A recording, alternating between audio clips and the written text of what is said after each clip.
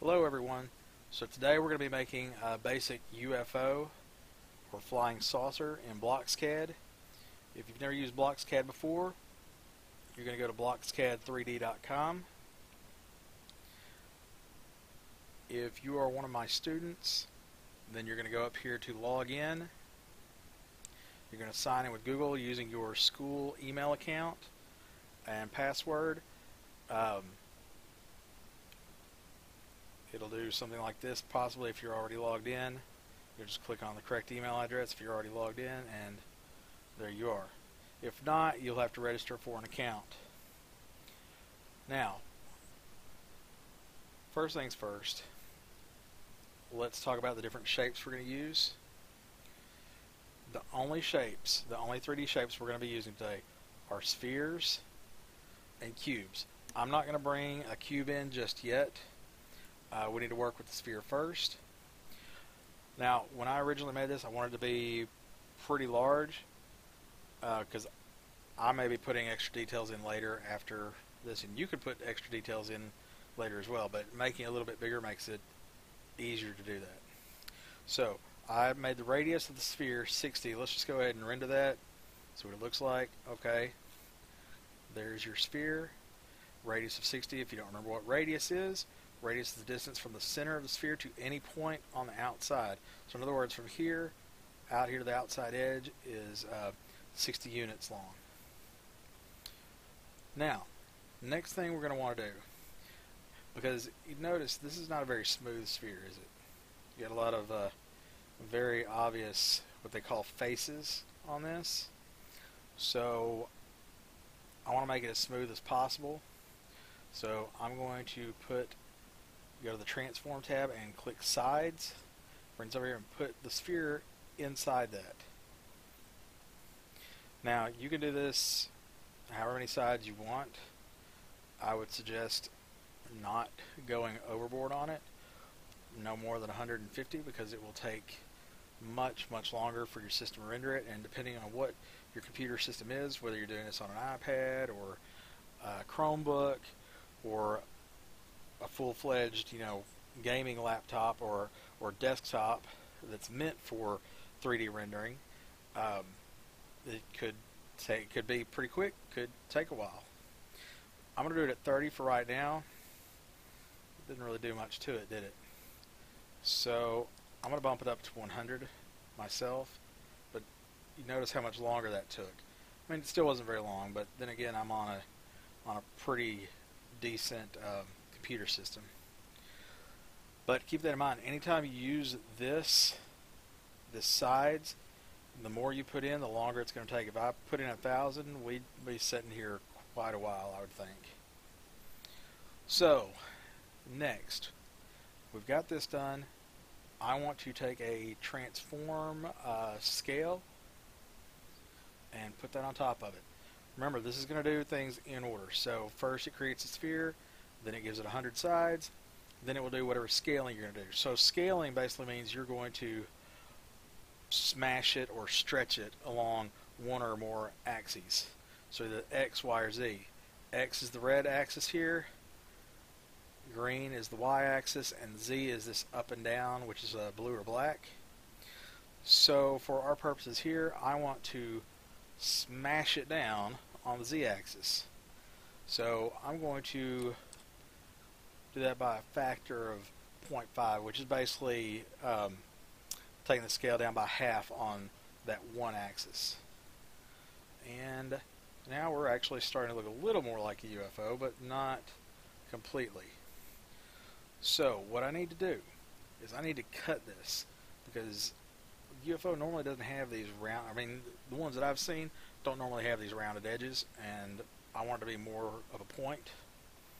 So we're going to bring in a cube. I am going to make this 150 by 150 by 50 and an important thing to remember uh, is you got to make sure it's either centered or not centered for our purposes. Usually I do them centered just because I like it. It's easier for me that way. So I'm going to center it. I'm going to translate it, which means I either I move it in one direction or another along one of these axes. So either the x-axis, the y-axis, or the z-axis. I'm going to move it on the z-axis down 10. So it's going to go. Well, let's let's see what it looks like without the the translate. There it is without the translate. You've barely got any of the sphere sticking out of the top.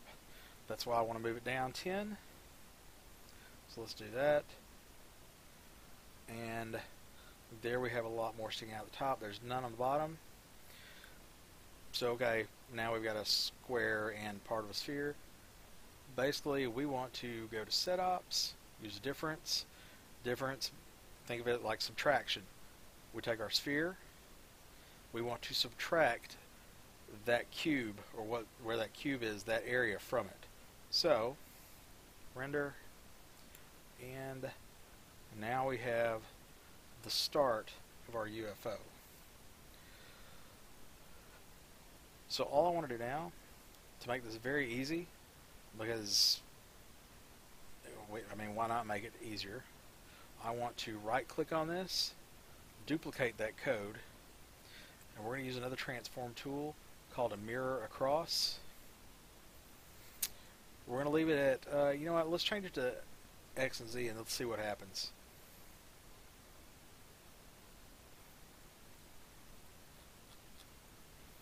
Well, we don't see any difference there, do we? Let's try Y and Z.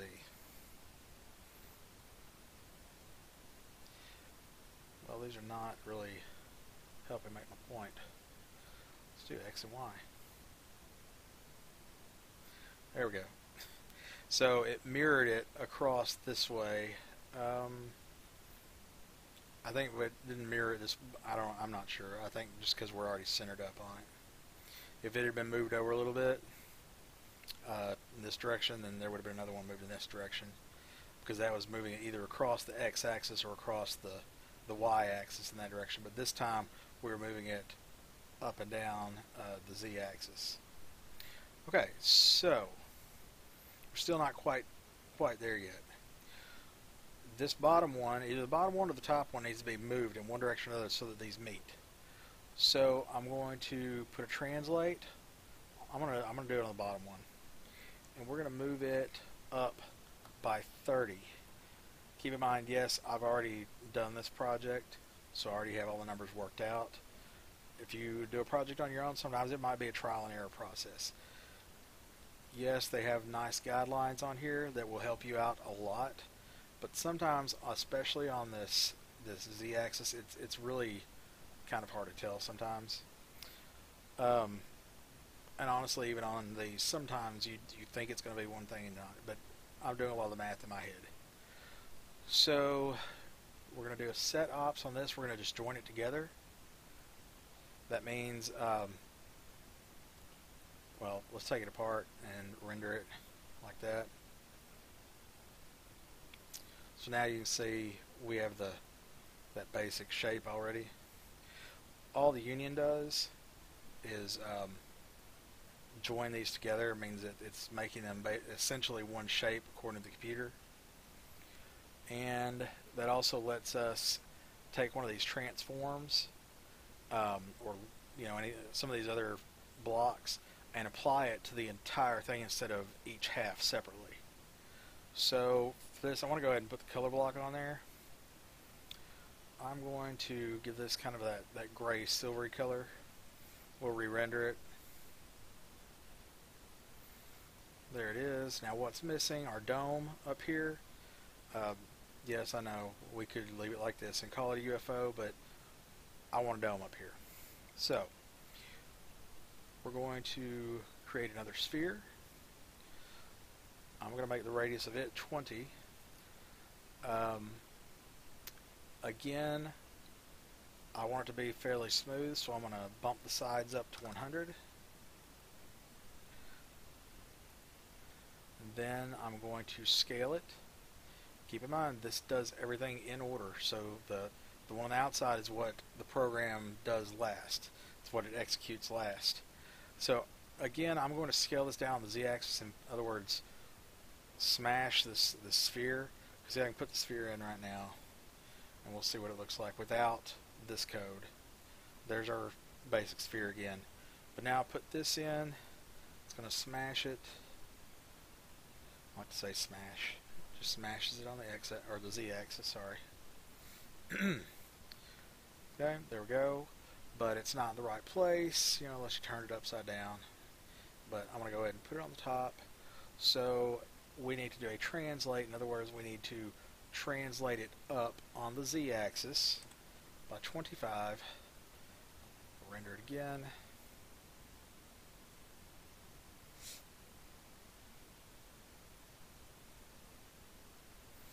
And there we are.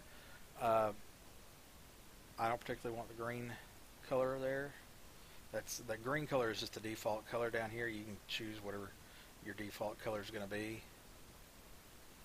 But I like to put my own colors on it, especially because I I take these and I put them in uh, like Cinema 4D and Blender, things like that, and it when you convert this to an OBJ file down here and, and download it, that uh, those different colors are what separates the different sections and allows you to apply different materials in Cinema 4D or Blender, um, or edit separate parts separately, or animate parts separately. What if I wanted, um, maybe I put lights up here, but I only wanted the outside part to spin. You know, I could, if this was all the same color, I couldn't do that it would just the whole object would be one solid object once I put it in in a Cinema 4D or Blender. So I'm going to change this to a very light blue.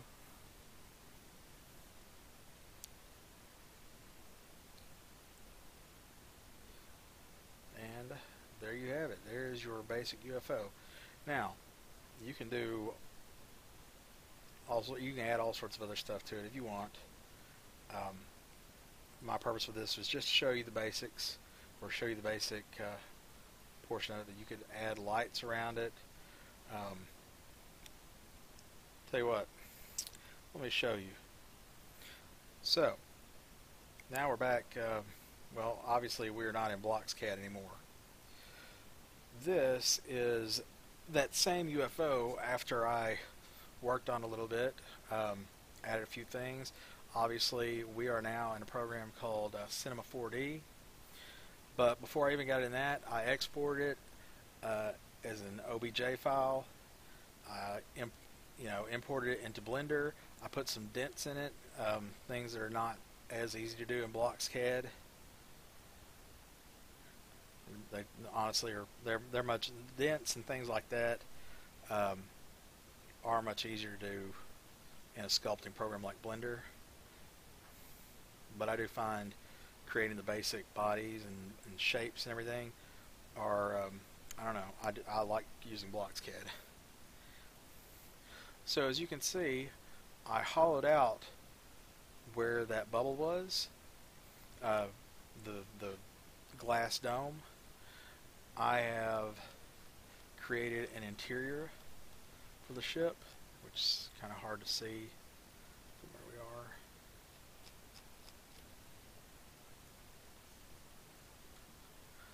It's got a steering wheel. I haven't I haven't finished uh, detailing it yet, but we'll work on it. It's got a chair, and as we zoom out, oh, and if anybody's ever looked at any of my other projects on BlocksCAD, that's actually part of the stool that I made. I just took a part of it and used it for this. Um, in the back, we got some exhaust and some little um, heat sink type fins. I've added in, of course, I've dented them up because I meant for this to be kind of a an older an older UFO. I'm actually going to put a pilot in there and everything at some point. But uh, then in Cinema 4D, I can render this. This might take a second.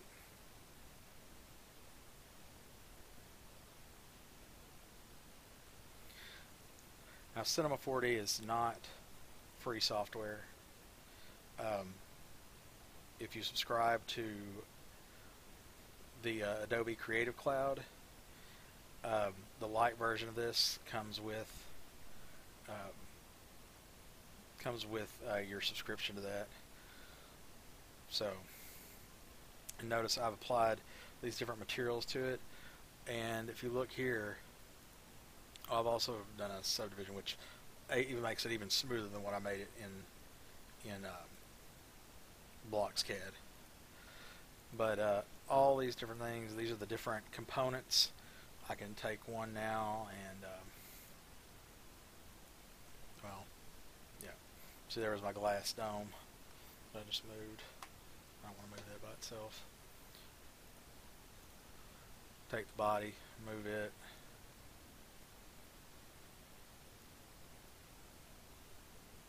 Well, I said I could.